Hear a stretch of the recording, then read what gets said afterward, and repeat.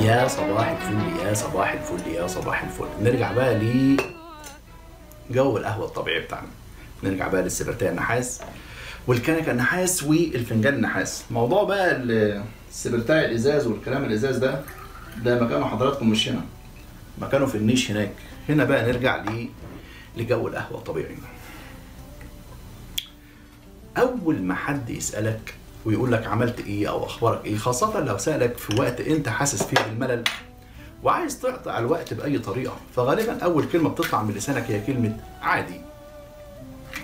عادي يعني نزلت قعدت على القهوة مع شوية أصحابي آه، لعبنا شوية دومنا شربت شاي طلعت البيت عادي يعني مفيش جديد.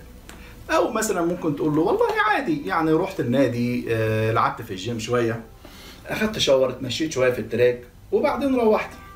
أو ممكن تقول له والله أنا نزلت اتمشيت في الشارع خدت سندوتشين فول وفلافل من على المطعم اللي على الناصية وبعدين اتمشيت شوية رجعت كملت فيلم قدام التلفزيون وبعدين سهرت شوية ونمت. عادي يعني مفيش جديد. وهكذا.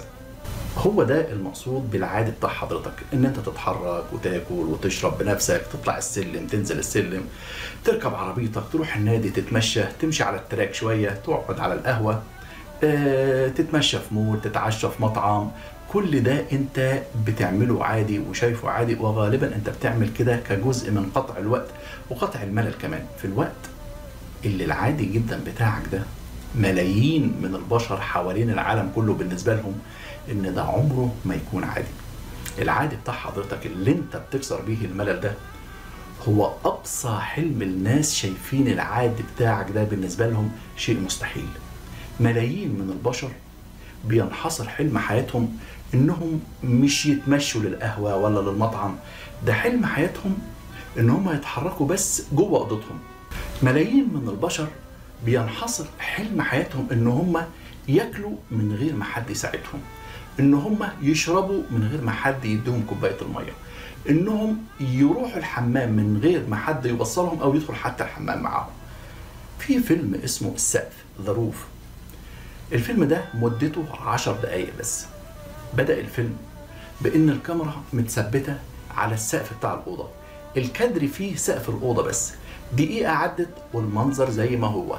الكادر مثبت على سقف الأوضة والكاميرا مش بتتحرك. عدى دقيقتين ثلاثة أربعة والكاميرا ما بتتحركش. ما زال نفس المنظر هو هو سقف الأوضة بس هو الموجود في الكادر.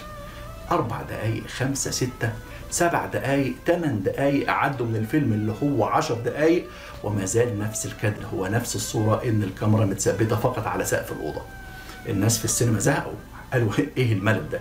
فيلم عشر دقايق أول ثمان دقايق منه صورة واحدة متثبتة على سقف الأوضة يلا بينا. وبالفعل بدأوا الناس يطلعوا من السينما. وفي اللحظة اللي هم بدأوا يمشوا فيها ويطلعوا بره السينما اتحركت الكاميرا. نزلت من على السقف عشان تروح على طفل صغير نايم على ظهره على السرير. نتيجة لإصابته بمرض في النخاع الشوكي أقعده تماما عن الحركة. خلى الوضع الوحيد اللي هو فيه إن هو ينام على ظهره بس. لا يعرف يتحرك يمين ولا يعرف يتحرك شمال. نايم على ظهره طول الوقت وطول العمر. والمنظر الوحيد اللي عينه بتشوفه هو منظر السقف وبس. لينتهي الفيلم بكتابة تعليق على الشاشة مكتوب عليه. لقد أصابكم الملل من مشاهدة السقف لمدة 8 دقائق. بينما يقضي هذا الطفل عمره بأكمله لا يشاهد إلا هذا السقف. الحقيقة كذا حاجة الواحد يطلع بيهم من القصة دي. أول حاجة إن أنت تشكر ربنا على كل شيء على ما أصابك ولم يكن أبدا ليخطئك بنفس درجة شكره على ما أخطأك ولم يكن أبدا ليصيبك. إنك تشكر ربنا في السراء والضراء. إنك تتقبل ابتلاء ربنا بنفس تقبله لنعمته عليك. وعمرك ما هتحس بالنعمة اللي ربنا أنعم بها عليك إلا لما تشوف حد تاني ربنا حرمه من نعم تانية أكتر منك. واللي محروم أكتر منك. هتلاقي هناك ناس محرومة أكتر منه هو كمان وهكذا.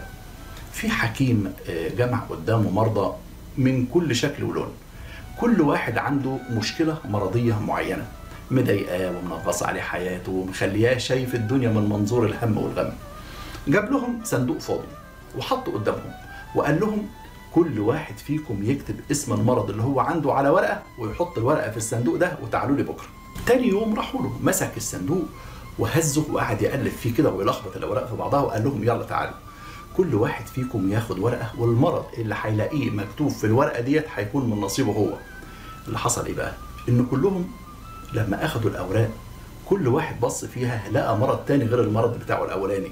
قالوا لا يا عم إحنا عايزين المرض بتاعنا إحنا اللي إحنا تعودنا عليه خلاص وعرفنا إزاي نتعامل معاه ونتعايش معاه إزاي. وكتير منهم لما شاف بعض الأمراض التانية في ورقة اللي هو أخدها عرفوا قد إيه كان ربنا رحيم بيهم بالمرض اللي هو ابتلاهم بيه. هو ده الإيمان بالقدر خيره وشره. لأن كل مرض بيصيبنا ربنا أصلا كاتبه علينا في اللوح المحفوظ من قبل أساسا ربنا ما يخلقنا. ثم يصيبنا الله به في وقت من حياتنا كما يراه الله ويقدره هو في الوقت اللي ربنا عايزه. ربنا قال في كتابه العزيز ما أصاب من مصيبة في الأرض ولا في أنفسكم إلا في كتاب من قبل أن نبرأها. إن ذلك على الله يسير. كلنا يا جماعة مبتلون بصورة أو بأخرى. كلنا مبتلون بدرجة أو بأخرى. كلنا مبتلون بمرض أو بآخر. والفائز فقط هو من يصبر على ابتلاء ألم به فالصبر على البلاء لا جزاء له إلا الجنة. أشوفكم بقى إن شاء الله في الأسبوع الجاي.